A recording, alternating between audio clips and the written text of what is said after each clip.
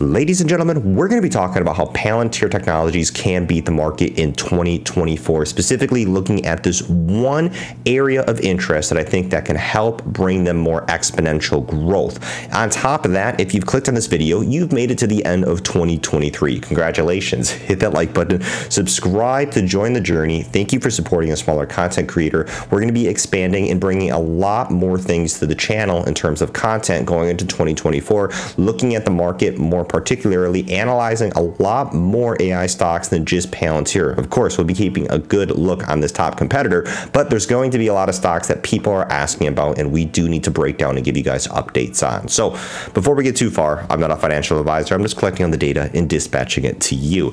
Now, talking about Palantir, and before we get into this one thing that I think will help accelerate its growth into 2024 is what its price action is sitting at right now. We see it at a critical level of support at the 17s. You can see here multiple touch points and closing at the last trading session for 2023 right at that 17s considering with that, we need to take that with a grain of salt because after Q3 earnings were reported the last quarter, you had Palantir that um, established this huge explosion of a gap from 14s up to the 17s here, being able to set that year-to-date high of 2185. Let me know down in the comments, what do you think is going to be the year-to-date high for 2024 for Palantir? I want to see what you guys are thinking. But as we get into the video, let's talk about what we have for the next quarter earnings for Palantir and the things that are already bullish going into 2024. And what we've seen is particularly looking at the Zacks rank and why Palantir, even though it does have a high valuation, which is one of its biggest criticisms, why it remains a number one buy for the Zacks rank. Now, talking about that, the next quarter earnings for the upcoming quarter will be February 13th. Right now, the predictions are sitting at 8 cents for earnings per share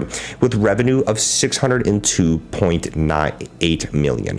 What we have seen is particularly looking at this important metric right here. These are the earnings per share revisions that we've seen in the last 90 days. You can see there's been nine in terms of bullish revisions revisions in the last 90 days. And the Zacks rank really takes this into a high consideration when establishing their actual ranking for these particular stocks, number one through number five being the worst. And Palantir here is continuing to have improvements in its earnings per share revisions, which is great and which is why we are seeing top investors like Cathie Wood that are investing in these disruptive technologies keep continuing to add Palantir to their portfolio. Now, one thing and the biggest thing that we all are seeing is their new market strategy to drive demand for its AIP, its artificial intelligence platform. And one of the biggest catalysts I think that we have seen is its growth in customer count on a commercial growth perspective. We've seen commercial revenue increase and we've seen commercial customer count.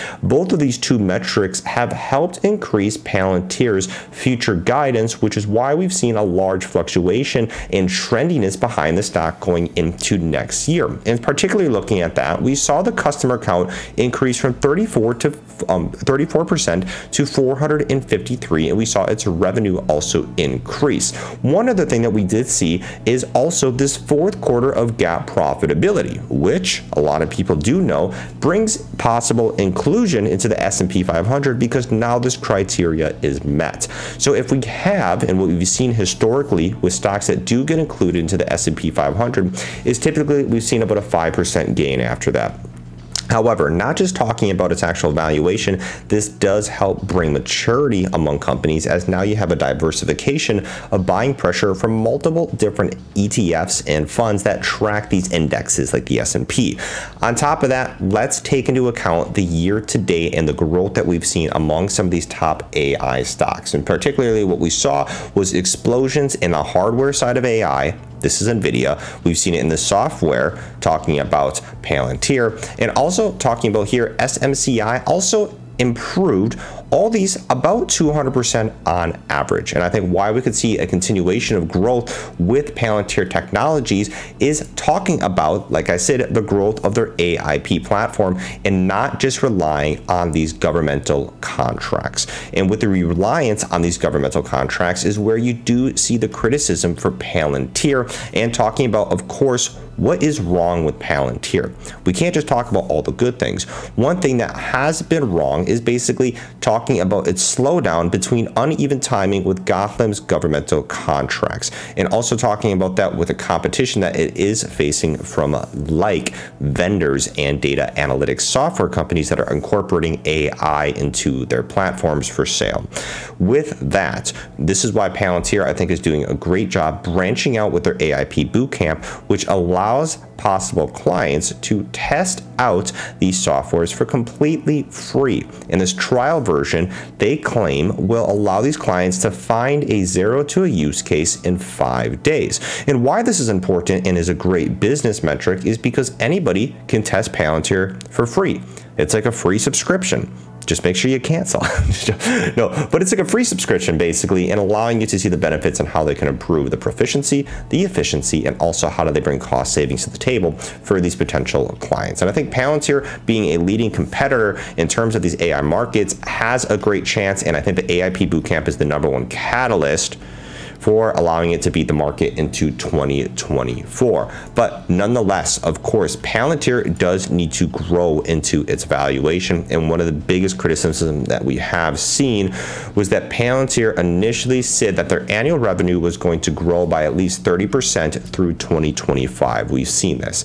We've seen the revenues change 2020, we saw 47%, 41% in 2021. I think when Palantir was going through this hyper growth period, but it only grew 24% in 2022. And what they're seeing is 2023 expecting only a 16% revenue growth this is where the criticism criticism comes in because you have a deceleration in the actual annual revenue growth rate when Palantir said, hey, we were going to see it at least by 30%. Now, this can have arguments that can play out on both sides in terms of the bullish and the bearish scenario.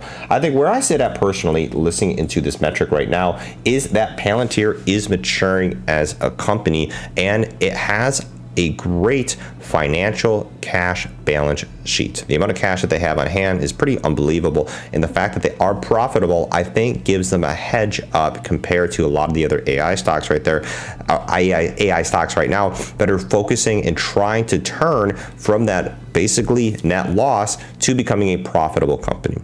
Palantir has that ahead of itself it's been making smart decisions as we've seen with the various partnerships that it has established in 2023. And I think as it grows more into the commercial sphere and diversification of its clientele, not just relying on governmental contracts, which I think Palantir has talked about that this is blaming it on the slowdowns that we have seen with the uneven timing of these governmental contracts, I think we could see a switch here. Now, of course, that's taking a bet. There's risk associated with how Palantir is going to operate in the future and how it's going to trade in the future. But I think that's where data dispatch is sitting at right now is I think the AIP is going to be an important catalyst as long as they can stay a top competitor, or outcompete against the other competition coming in with all the cash on hand, they have a lot of money to throw into these resources to always have the leading edge in terms of AI, AI data analytics technology. Only time will tell. I hope you guys have a great year. Peace out. Take care. Let me know what you think down in the comments, and I'll catch you guys later.